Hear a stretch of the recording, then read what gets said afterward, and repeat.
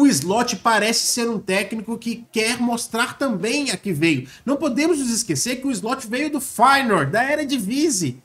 Os primeiros a cornetar uma possível escolha para o Slot foram, foram, to, fomos todos nós. Ninguém conhecia o Slot. E ele não tinha se provado. Qualquer coisa que é colocada tem sempre um asterisco. Ah, mas ele, ele fez isso na era de Vise.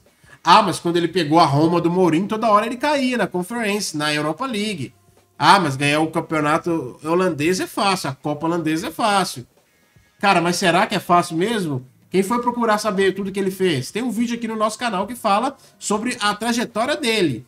Ele não chegou lá simplesmente nos mais endinheirados e foi lá e ganhou os campeonatos. Ele não chegou lá contratando tudo que era ali cabível nas condições da Eredivisie e ganhou o campeonato porque era o time montado no dinheiro que era o mais favorito de todos. Não foi isso que ele fez.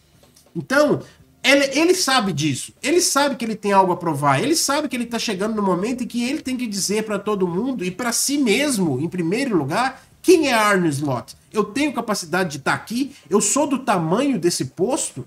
Se eu sou do tamanho desse posto, a partir desse momento as pessoas vão conversar diferente comigo. Vão começar a olhar para mim e falar assim: opa, é o Arne Slot, não é o carinha da era de vice que vem, não. É o Arne Slot. Vamos respeitar e vamos fazer acontecer. Muito legal, então, que ele esteja querendo provar e, e, e o cara que quer provar, ele quer aprender com os erros e ele tem uma, uma ideia de aprender muito rápido, né?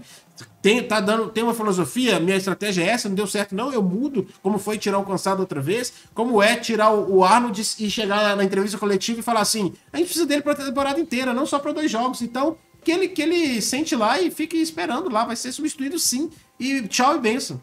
É isso. Um cara que quer se provar e que é, é gana, né? Se tivemos uma era que acabou porque o técnico disse que estava sem energia, isso é justamente o que não falta agora para o novo técnico. Ele está cheio de energia para mostrar que veio para fazer o que precisa ser feito. Muito bom, muito bom.